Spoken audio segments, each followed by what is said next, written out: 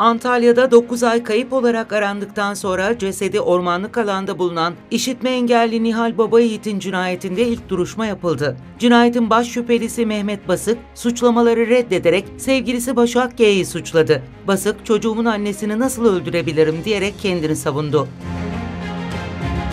2022'de sosyal medyada tanışan Nihal Baba Yiğit ve Mehmet Basık bir süre birlikte yaşadı ve 2023 yılında çocuk sahibi oldular. Mehmet Basık 9 Eylül 2023'te Serik'e gelerek Nihal ile görüştü. Baba Yiğit kaybolduktan sonra ailesine video ve fotoğraflar gönderildi. Olay sonrası Mehmet Basık Batman'da yakalanarak tutuklandı.